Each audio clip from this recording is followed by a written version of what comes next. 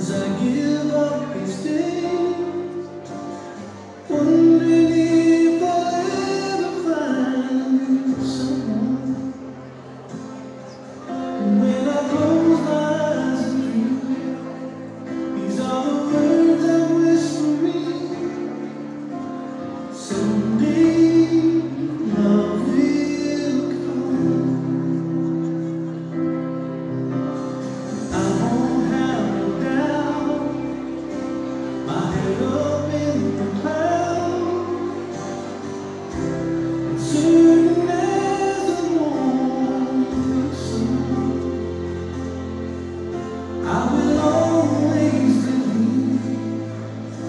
Somebody just for me.